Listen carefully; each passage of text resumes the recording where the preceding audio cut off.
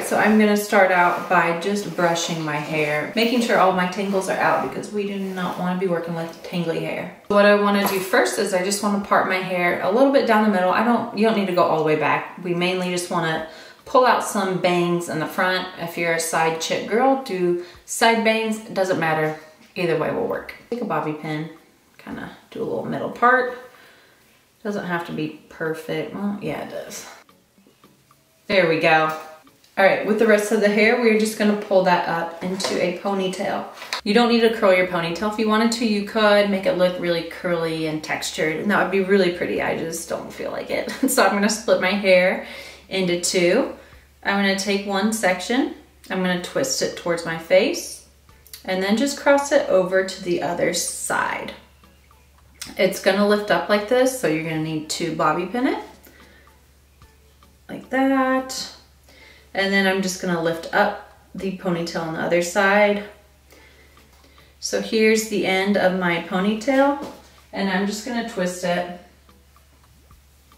and bring it back around. And now I'm just kind of tucking it up under and bobby pinning it, just like that. Then do the same thing with the opposite section of hair, twist it towards your face, and then we're just gonna wrap it around. So just make sure it's in front of the section you just did. And it's gonna kinda pop up right here. Just stick a bobby pin right here, push it down. Now make sure you are twisting your ends as you are going around. I'm gonna take you to the back and we're gonna go around and around, tucking it up underneath. And as we come back around to the front, we're just tucking it up under everything. Now this is where you just kind of play around with it. So maybe you like how it looks right now, great, don't touch it.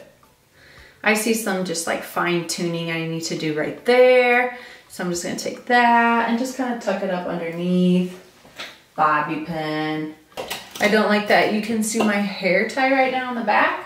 So I'm just gonna kind of lift that up stick a bobby pin in. So this is this is a messy bun, but it's like a messy bun that you can wear and still like look cute without looking messy, you know? So just play around with it until you are happy.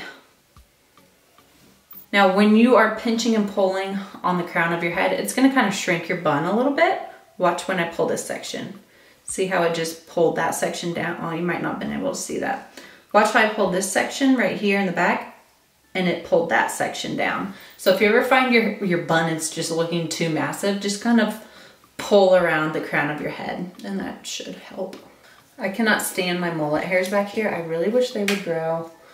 I think that means my hair is growing if I have these short pieces. Or maybe it means my hair's breaking. I don't know. But I'm just gonna curl them. He'll make me feel a little better.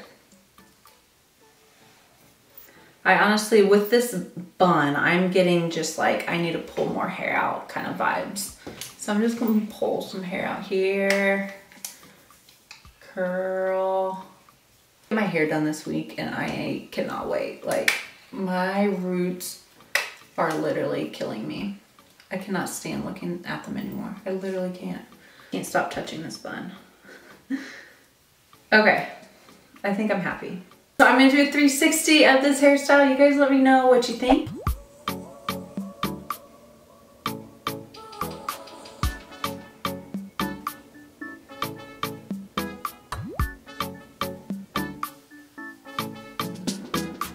So that is it. This would be such a cute vacation hairstyle. Again, like a summery dress vibe hairstyle.